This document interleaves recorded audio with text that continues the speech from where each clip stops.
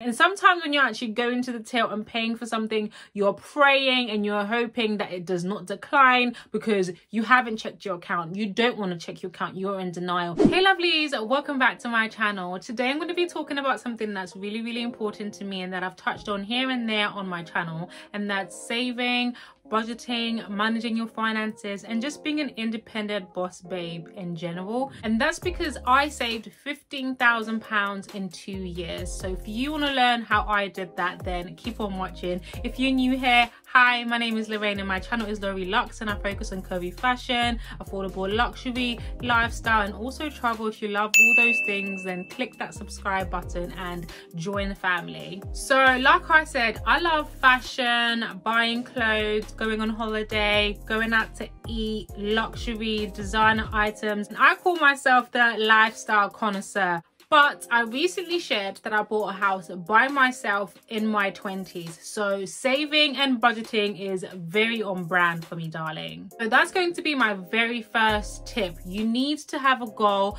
You need to have a target. It's all well and good saying, I want to start saving. I want to start budgeting. I want to start managing my finances. But if you don't actually have a goal or reason why you're saving, you're going to find it really, really difficult to do so. I'm sure most of you have heard of the the SMART acronym, right? And this stands for specific, measurable, achievable, realistic, and timely. And I'm gonna be breaking that down throughout the videos. I'm giving you tips on how to budget and how to save. So we'll start off with specific. So like I said, you need to have a target and a goal. You need to know what you're saving for. You need to know why you're saving. So in my example, I knew that I wanted to save for a house. So that was my specific. So not only did I know that I wanted to buy house, I knew how much that house was going to be. And the reason I knew that is because I knew how much I could afford when it came to buying a house by myself. So I went ahead and set myself a time period for how long I was going to save for. I'm going to share with you why the time period was very, very important when it comes to the other tips that I'm going to share with you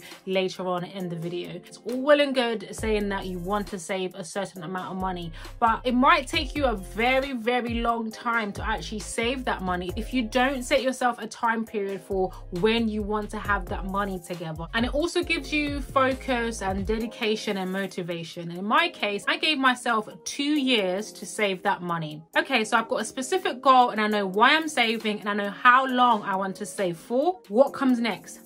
Budgeting. When it comes to budgeting, I know it's not very cool, it's not very sexy, and it's something that people tend to stay away from because in the society, we're kind of looking for like that instant payout. But with budgeting, it's like the long haul game. But budgeting is also a very, very good way of exercising discipline. Like a lot of people say, it's easier said than done, right?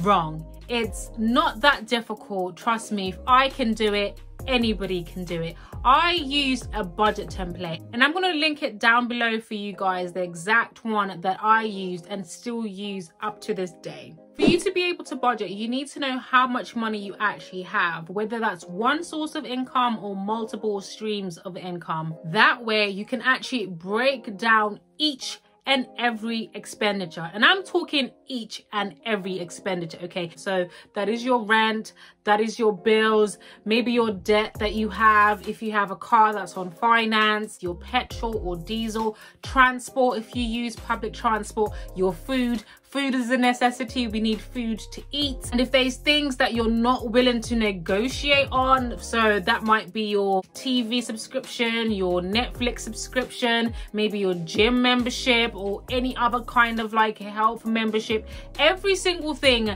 that you pay for. However, I want to make it very, very clear. Do not include your lifestyle costs. So lifestyle costs are things like maybe the Starbucks that you get on your way to work, the clothes that you buy, for example, going out to dinner, going out to drink or stuff like that. That is a lifestyle choice. So once you know how much money is coming in and how much money is going out, you now know how much disposable income you have left. So this is where you're then able to actually work out how much you can realistically save every single month or however often that you get paid. So let's say for example, your disposable income is 700 pounds. According to research, a single person can survive on 350 pounds a month I think a single person can survive on so much less. But let's go with that value, for example, 350 pounds. So you subtract that and then you're left with 350 pounds. So you know that you can comfortably save 350 pounds every single month. So you know yourself, your lifestyle, you know what you like, you know what you do and what you enjoy doing. You now actually need to budget that 350 pounds, which is your living cost and actually give yourself an allowance. If you know that you like to go out with friends, for example, for a drink or for dinner, you now need to budget how many times a month are you going to be able to afford going out to dinner or drinks in the month. It might be that you enjoy buying fashion, accessories, skincare or whatever. How much money are you then going to allocate yourself to buy new clothes or whatever it is that you want to buy? Now my tip here is that you need far less than you actually realize. You always have to remember the specific, your goal. What am I saving for? Why am I doing this? And this is where the timely part of the smart comes into play because you know how long it's going to take you or you want to save for that specific thing. So this is where you're actually able to make sacrifices. So for me in that two years, I was able to make sacrifices with my lifestyle because I knew that I wanted to buy a house in two years. There were so many things that I could not do or that I chose not to do because it's a choice. I could have chose to do those things. I could have afforded to do all those things, but I actually sacrificed for my future goal. I hope that makes sense. So the kind of sacrifices that you can make in your lifestyle are living at your parents' house to minimize your expenditure or living in a shared accommodation to minimize your expenditure, having a travel mug and taking a coffee to work instead of buying Starbucks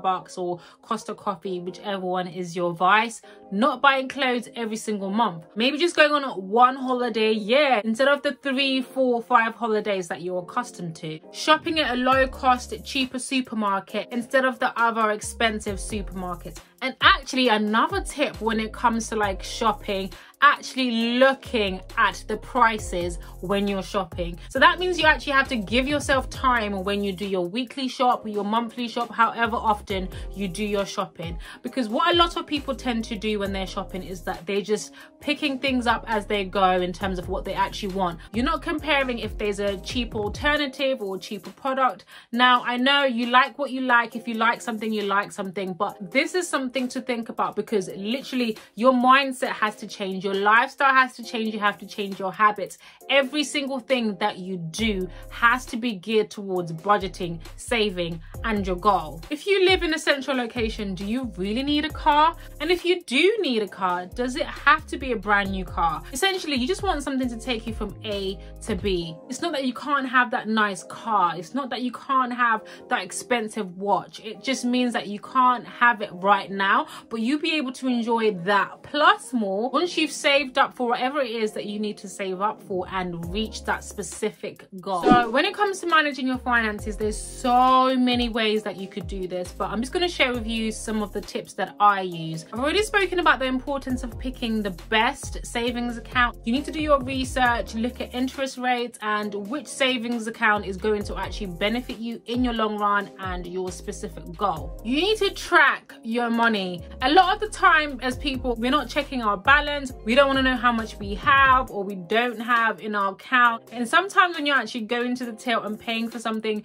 you're praying and you're hoping that it does not decline because you haven't checked your account. You don't want to check your account. You're in denial. But it's very, very important that you're tracking your account, that you're checking your account. How much do you have? Have I overspent? Have I gone over budget? Because sometimes these things can happen. You can have a budget, you can have an allowance that you've given yourself, but maybe it just so happens that you've gone over the budget. But if you're constantly tracking your account and constantly tracking how much money you have in your account, you would know that and you'll be able to kind of like stop yourself from buying something else or rejig things around and take that money from elsewhere. And the best way of tracking your finances is actually having your bank's app on your phone because instead of having having to like go on your computer or or log in this that and the other when you have your app it's a very very easy way of being able to track. You know you see how much you have you see what's due to come out. Another way to actually help you with saving is to be resourceful because if you only have one source of income it can take you longer to get to your goal. So for example with me i was quite good at maths and one of the things that i used to do is actually tutor people. I don't do this anymore by the way but i was able to use my skill and something that i was good at to actually earn extra cash. If you have a skill if you've got time for example to do a part-time job this is something that you can actually consider to help you with your saving goal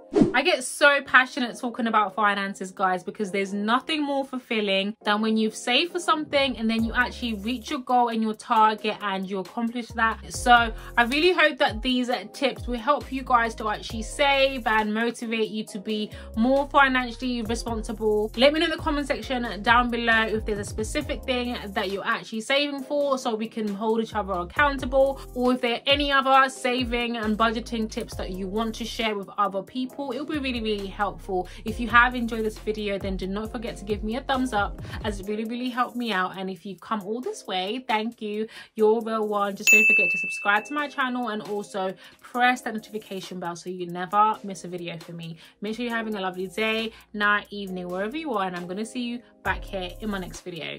Bye guys